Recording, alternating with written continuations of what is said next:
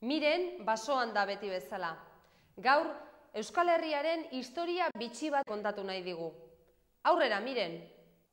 Behin batean, bazen lurralde bat, Pirinioen ondoan, pago eta aritzez betea. Iparraldera nahi zegoaldera begiratu, zuaitzak zeuden non nahi.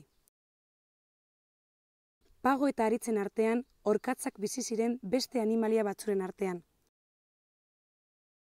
Aranetan, ibai garbiak zeuden, ibaietan amuarrainak bizi ziren beste arrain batzuren artean. Euskal Herria zen. Gero, gizakia etorri zen bizitan, gizakiari asko gustatu zitzaion Euskal Herriko paisaia eta bizitzen gelditu zen. Gizakiek zua egiteko pagoen adarrak mosten zituzten. Jateko basurdeak eta arrainak hartzen zituzten gizakiek semealabak ekarri zituzten eta gizakien semealabak beste bizitari batzuekin elkartu ziren, eta semealaba berriak ekarri zituzten. Zu egiteko, etzeak egiteko eta itsasontziak egiteko pagoak eta aritzak mostu zituzten. Jateko baratzak antolatu zituzten. Baratzak gero eta handiagoak ziren eta basoa gero eta txikiagoa gizakien semealaben, semealaben, semealaben, semealabek, semealaba gehiago ekarri zuten.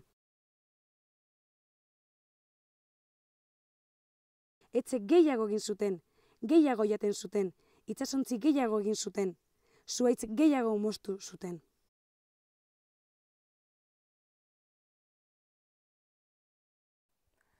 Ipuina bukatu dela, pentsatzen baduzue, oker zaudete. Ipuina ez da bukatu oraindik. Zuek zarete orain ipuñaren protagonistak. Inondik miren miru mirutegiaren zat. Gure mirenek benetan beltz ikusten ditu gauza guztiak. Zalduzu uste? Iparraldera nahi zegoaldera begiratu, zuaitzak zeuden non nahi.